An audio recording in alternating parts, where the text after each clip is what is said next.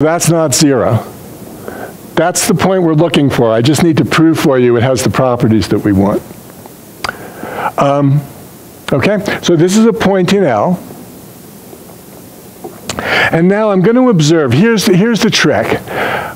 I have 1 half R1 minus 1 half R2. I actually, I claim that this is actually in the region R. And this is where we use all those properties about R that we started, well, most of them. Okay, so first I take 1 half R1 minus 1 half R2, and I very cleverly write it as 1 half R1 plus negative 1 half R2. Easy. Well, um, minus, remember, uh, minus R2, well, minus R2 is in the region because R is symmetric. The region's symmetric. R2 is in the region, minus R2 is in the region. Okay? So this point in parentheses here is in the region R. I'm sorry, that's not what I want to say. Minus R2 is in the region R. R1 is in the region R. Right? And what I've done here is I've taken a linear combination of two points in the region R. I've taken one half of the first one plus one half of the second one. And this is where we use the convexity. If I give you two vectors and I say take one half of the first one plus one half of the second one, the point I end up with is the midpoint of the line segment. Okay? And I assumed that the region was convex. Therefore, the midpoint of that line segment is in R. And actually, I, well, technically I didn't need to assume that. I just needed to assume that the midpoint of any line segments in the region. That's equivalent to convexity if you think about it. Anyway, these are nice regions. Okay, so this quantity under the big underbrace is in the region R. In other words, this quantity, shoot, one, minus a half R1, I mean one half R1 minus a half R2 is in the region in the region R, but it equals V1 minus V2, which is in L. And now you have to go back and remember what we're trying to prove. We're trying to find a non-zero vector, lattice vector in the, in the region R. But that's it. This difference is in the region, so V1 minus V2 is in the region. And it's in L because V1 and V2 are in L, and L is a group. Um, and it's not zero because the R1 and R2 were distinct. And we're done. Okay. Question, yeah. You said we have a pair of points, R1 and R2. Right. But in fact, we can have many pairs of points because that, that's true. Since we have since we have regions, there would be lots and lots of. You, you, you'd actually. Basically, what I said is there exists a pair of points R1 and R2. You're right. There's lots of choices for R1 and R2. Um, odds are they'll probably end up giving you the same V1 minus V2 because if, if this R1 and this R2 works, and I shift each of them a little tiny bit, they'll still work if I shift them the same amount, but their difference will be the same lattice point. But you're right. There, there's a choice there. Um, yeah. And, and also, this, this proof isn't really effective, right? I don't think. Okay. All right, so, so that did not prove that proved that, that lemma, but I wanted to prove this theorem. Um, oh, actually, it didn't even prove the whole thing. What am I doing for time? I'm, I'm going to run out of time. So I'm going to just say very quickly, we proved that if the volume of the region is strictly bigger than 2 to the n times the volume of the fundamental domain, then there is this nice lattice point in the region. That's a strict inequality. The statement of the theorem said it's okay if they're equal. And for that, what we do is we kind of make the region a little bit bigger and find a sequence and use compactness. I haven't used the compactness of the region yet, okay? So I'm going to just quickly say, so if the region has exactly 2 to the n times the volume of the fundamental domain, we take a slightly larger region, you know, I expand it and find a sequence of points, and then I use compactness. And um, that's actually a nice thing for, for you to fill in if you want. But anyway, the details are in the notes. Okay. It's funny, yes, yesterday I was really out of breath walking up and down the hills. And of course, finally remembered that we're at 7,000 feet. Actually, lecturing is also tiring. okay. So, this is the first part of Minkowski's theorem. Very beautiful. It magically says that every lattice, any lattice at all in dimension n, has a vector that's reasonably short. Okay? Well, has a non-zero vector that's reasonably short. And I put less than approximately there. You can get an exact formula that involves the volume of an n ball, which involves the gamma function. Um, so this is just an approximation using Stirling's formula, which is nicer for, for a lecture. And here's how the proof goes. I put the whole thing up so if you want to skim ahead, but I'm going to do it line by line. Okay? So remember, our goal is to find a vector in the lattice that's pretty small. And what we'll do is we'll look at the balls of radius capital R in n-dimensional space. So this set, the set of x's in Rn whose length, this is standard length, you know, Euclidean length is at most R. Solid ball. If n is reasonably large, what's its volume? Well, its volume is roughly 2 pi e over n to the n over 2 times r to the n. I mean, the, the growing like r to the n is clear, right? Because it's, it's just a unit ball expanded by a factor of r, so the volume is r to the, it's r to the n times the volume of a unit ball in Rn. How many people have actually ever done the computation to compute the unit ball in r to the n? It's a very fun multivariable calculus problem. Uh, and you end up with, with the beta function that you can express in terms of gamma function. If you haven't seen it, it, it you should try it. Anyway,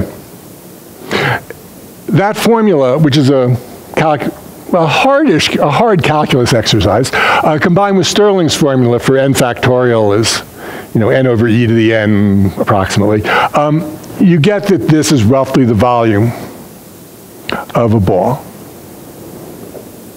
Now, a ball is symmetric, right? V or minus V are both in it.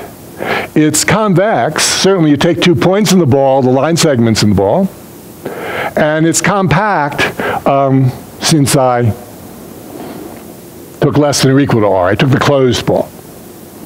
So it's the perfect entity for applying that lemma of Minkowski's that we just spent a bunch of time proving. All I need is to make the volume of the ball big enough. I'm sorry, I'm going to try, I'll, I'll, figure out how to stop it from doing that for next lecture. At least I'll try to. Um, so here's the volume, and we need the volume of the ball to be bigger than 2 to the n times the volume of the lattice. So I simply set this quantity, this volume, equal to 2 to the n times the volume of the lattice, and solve for r. And it turns out this is what r has to be. Square root of 2n over pi e times the nth root of the volume of the fundamental domain. So if I choose that to be r, then the volume of the ball is bigger than 2 to the n times the volume of the lattice. And therefore, Minkowski's lemma says that the ball contains a non-zero lattice point. Well, the points in the ball are the points of length at most r, and this is what r is. So I just proved there exists a non-zero lattice point whose length is at most this r value, or at the top of the page written with backslash frac instead, so it's easier to read. Okay? And that completes the proof that there is a reasonably short vector. Challenge, if I give you a two-dimensional lattice just by giving you two vectors that span it, can you find a vector you know, it, Minkowski says there is a vector that satisfies this. Can you find it? Well, the answer is yes. In two dimensions, you could just draw a picture, basically. In dimension 100, the answer is still yes, we know how to do it, but it's hard. And I'll talk about that next time. And in the dimension 1000, the answer is no, basically. We, we, we, we really don't have an algorithm to find a vector. The vector, Minkowski tells us it exists, but we don't have an algorithm that in a practical amount of time will find such a vector. The best we can currently do, so this is kind of a preview for next time, is find,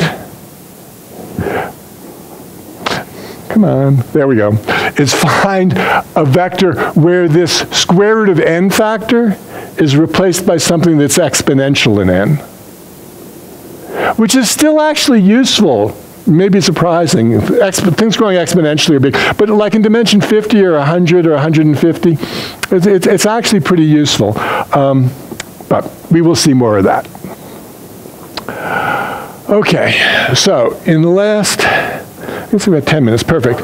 Last 10 minutes, I want to describe a heuristic that gets used a lot in cryptography and probably also in various areas of applied math.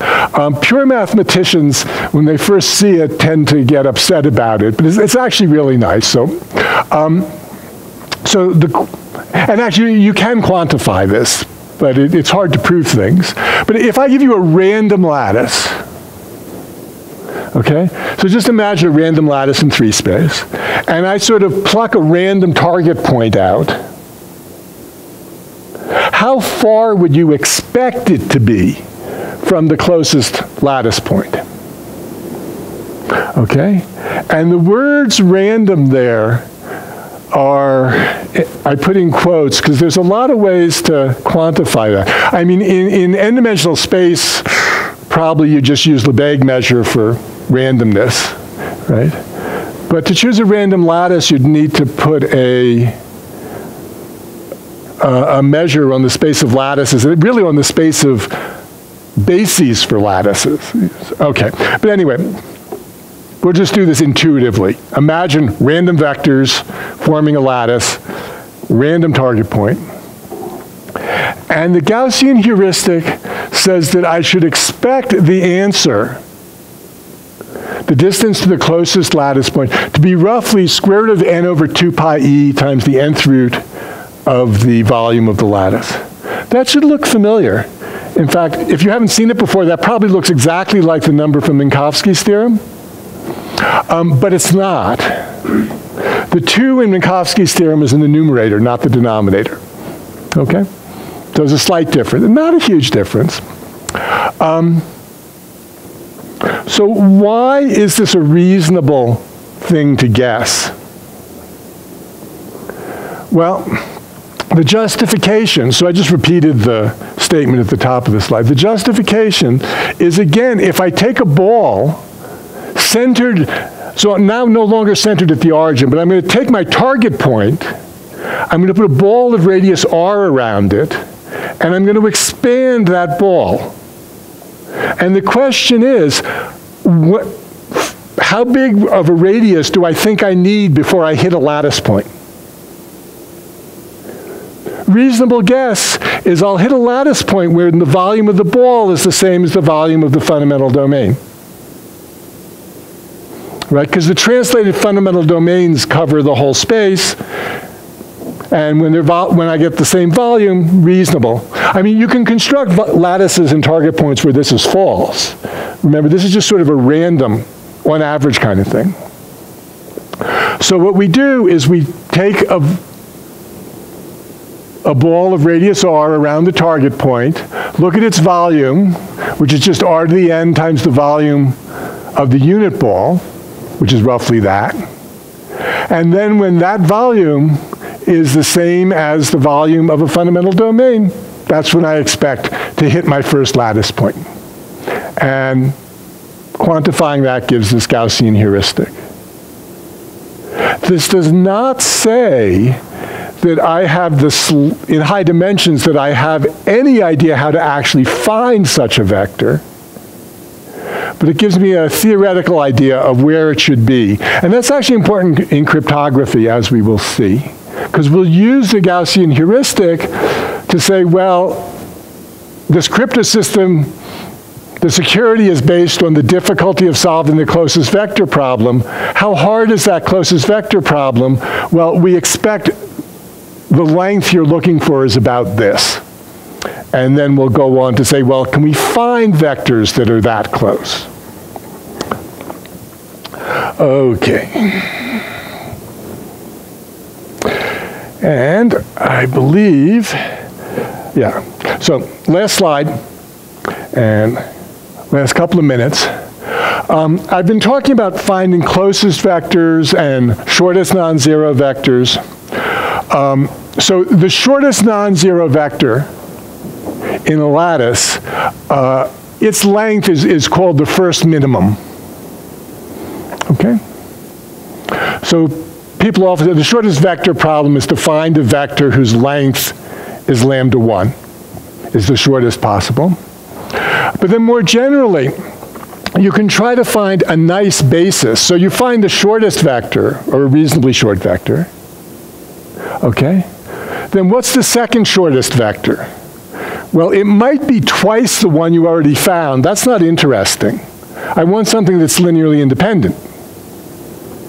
So after we find a shortest vector, I look for the shortest vector that's linearly independent from that one I already found. And its length is the second minimum. And then, well, you can see inductively, third minimum, fourth minimum. So the kth successive minimum is the length, of, well, it's basically the, the shortest length so that the lattice has at least k linearly independent vectors of that length. Okay? Or, I mean, did, this is probably the right formal way to state it. The way I think of it is you do it inductively. You find the shortest vector, its length is lambda 1. You find a shortest vector that's linearly independent to it, its length is lambda 2. You find a shortest vector that's linearly independent of both the first two, its length is lambda 3, and so on. And then you can state Minkowski's theorem. Well, somewhat more general. I stated it when k was n, that the product, you can find these vectors whose product is length is less than this, but you can actually go all the way from k equals 1 to n. If you take k equals 1 in that formula that just disappeared, there it is. There's just the length of the shortest vector is less than this gamma to the 1 half. Oh, gamma should be gamma sub n here. Um, okay. So this gives it a, a, possible way of proving you know, Minkowski's theorem. I, I proved just the lambda 1 version, the k equals 1 version for you. And you know, one might try to do it inductively, um, although it's a little tricky. Okay, so that concludes today's lecture. Um, maybe a couple minutes early. I've never in my life had an audience that objected to a lecture that ended a couple minutes early. Um, so we have like a so are there, yeah, are there questions? Well, I was going to get to that, but I was going to say, eh, yeah, I was going to ask for questions. Then we have a 10-minute break, and then we reassemble in that big, huge tent with the circular tables, um, and that's where the problem session will be. Um, yeah. So, are there any questions? Yeah. Uh, yeah. Go ahead. Yeah. yeah. Could you just really quickly go back to the previous slide? Uh, yep. Okay, yeah. Also, all, all of this expanded is in the notes, but yeah, sure. Yeah, the slides go very quickly. Any other quick questions? Yeah. The last inequality here, the left-hand side looks like a determinant of the something. Right-hand side is a determinant of something. Yeah, the, that's a good, the left-hand side is actually the, well, it's, it's, it's the Hadamard quantity for the parallelogram spanned by the first k vectors, right? Because it's the lengths of those first k vectors. The right-hand side is the actual volume of the fundamental domain, but scaled by k over n to get down to a, a k-dimensional thing.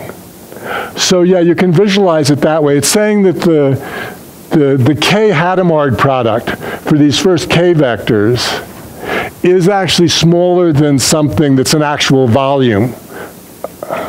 There, sort of scaled. Yeah. Um, I think this is probably a super naive question, but how often does uh, this like so say you take k up to n, and you take that basis, so you sort of like basis, the basis for the lattice. Oh no, that's not. not, not so, so so let me repeat the question. So so how when you do this, you'll end up with n linearly independent vectors. How often does that give you a basis for the lattice? Yeah. It's a not at all naive question. It's a wonderful question. The answer is almost never. It's really, really interesting to um, try to say, you know, sort of on average, how, how, how close to being a full uh, um, full basis is. Um, and then it actually leads to another question, which is very good, which is instead of forming a basis like this inductively, one might say, well, what is the absolutely best basis I can find? And I might measure that best. How do you measure the goodness of a basis? Well, you could take the product of the lengths. You could, that's kind of the geometric mean. You could take some other mean. You could take the, the sum of the lengths, the L1 norm. You, you could take the L2 norm. People do all these things. Um, and it's interesting to, to try to s- get accurate estimates as to how, how good those are. Yeah. Um, yeah, good question. Any more questions? Oh, yeah? Go ahead. So for the lemma, for the Minkowski lemma that says there exists a lattice point inside this region, is there a way to tell whether that lattice point is on the boundary or in the interior? Okay, good. So the question was, Minkowski's theorem tells you there's a lattice point in this region R. And the question is, can you tell if it's on the boundary or not? Um, the answer is not really. If, if the region has exactly volume 2 to the n times the determinant of the lattice, um, then it may or may not end up on the boundary, I guess. But if, if you really want something in the interior, just take your region and expand it by a 1 plus epsilon, and then, then you'll get something inside. Yeah. Okay, I think we probably are out of time because we, we have to get out and another group has to get in by 10 after. Maybe one last question? Yeah? Yeah, Okay, one last question. Uh, Is it easy to compute this suffix? I'm sorry, I can't hear. Is it easy to suffix?